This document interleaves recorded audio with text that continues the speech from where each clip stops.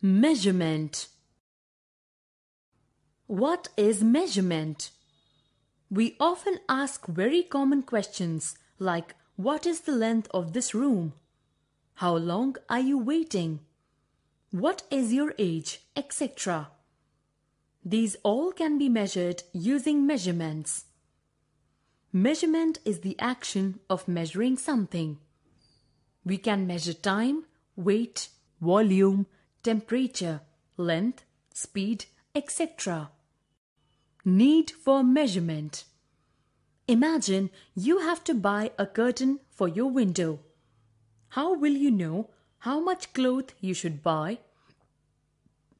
You will have to measure the length of your window so that you can tell the shopkeeper. Standard units.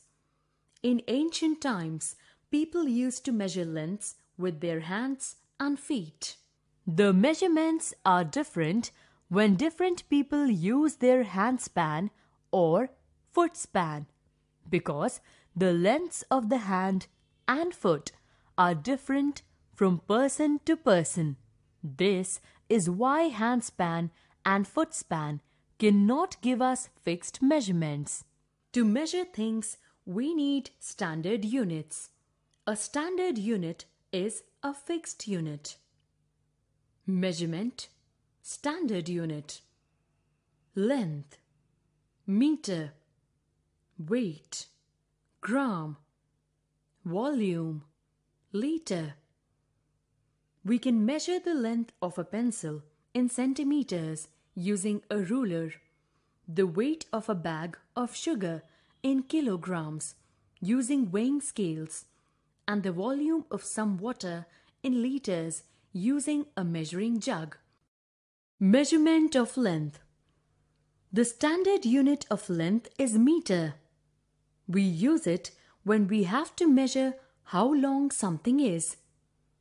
We measure smaller lengths in centimeters and longer lengths in kilometers. We use rulers or scale and measuring tapes to measure lengths. Measurement of weight. The standard unit of weight is gram. We use it when we have to measure how heavy or light something is. We measure lighter things in milligrams and heavy things in kilograms. We use the weighing balance or weighing machine to measure the weight of things. Measurement of volume. Volume is the space occupied by the liquid. The standard unit of volume is liter. We measure smaller amounts in milliliters. The volume of a container tells us its capacity. The capacity of a container is how much amount of liquid it can hold. A larger container can hold more liquid than a smaller container. So, it has greater capacity. Look at the given glass. The glass has a capacity of 300 milliliters, but the volume of the milk in the glass is 150 milliliters.